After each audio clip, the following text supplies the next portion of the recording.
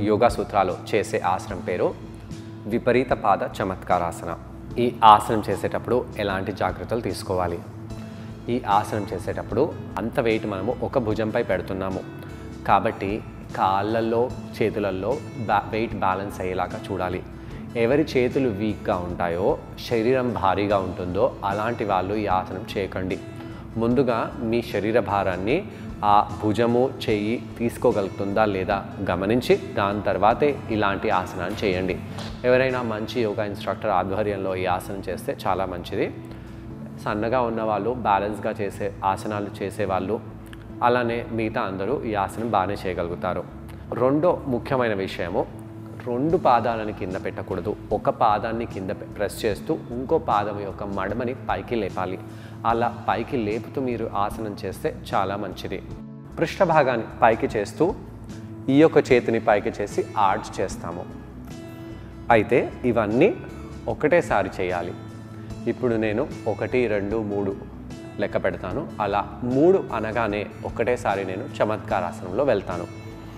ఒకటి రెండు మూడు. ఈ విధంగా చమత్కారాసనంలో కొంత సమయం పాటు ఉండండి. ఇక్కడ కుడి కాళ్ళ వేళ్ళపై ఉంటున్నాము. మడమ కింద తాకటం లేదు. ఎడమ పాదాన్ని కింద ప్రెస్ చేస్తున్నాము. కిందికి వచ్చి కూర్చోండి. వీపు నడుము దగ్గర ఒక సంపూర్ణంగా కర్వ్ని మనము చూస్తున్నాము. ఇది నార్మల్గా చేసే చమత్కారాసనం రెండో వైపు కూడా ఈ యొక్క ఆసనాన్ని చేద్దాము. కుడి చేతిని కింద పెట్టేసి ఎడమ కాల్ని ఫోల్డ్ చేసి కుడి పాదాన్ని కుడివైపు చేసి ఈ విధంగా ఎడమ చేతిని పైకి చేయండి. శ్వాస తీసుకుంటూ శ్వాసని వదిలేస్తూ.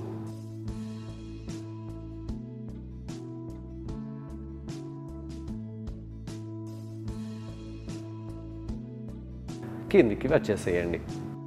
ఇది చమత్కారాసనం ఇప్పుడు మనం ఏం చేస్తున్నాము?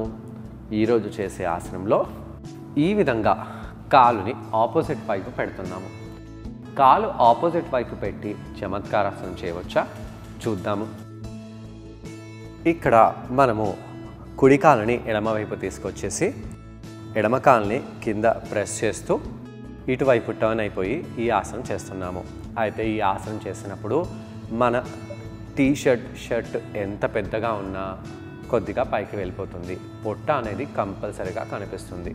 అయితే పొట్ట భాగాన్ని మనము లోపలికి పీల్చుకుంటూ ఈ ఆసనాన్ని చేయాలి. శ్వాస తీసుకుంటూ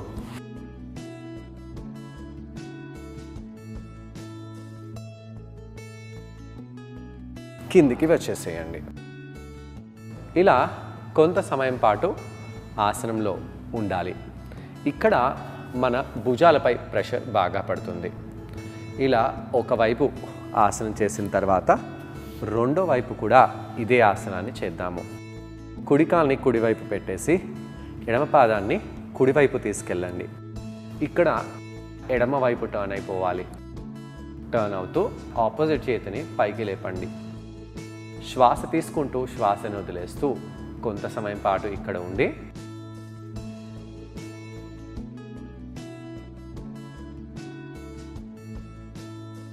ఎడమకాళ్ళ వేళ్ళు పై మనము ఉండాలి. ఎడమకాళ్ళు మడమ కిందికి తాకకూడదు. అయితే కొంతమంది పాదం యొక్క మడమని పైకి లేపడానికి భయపడతారు. అలా భయపడడం వలన మనకు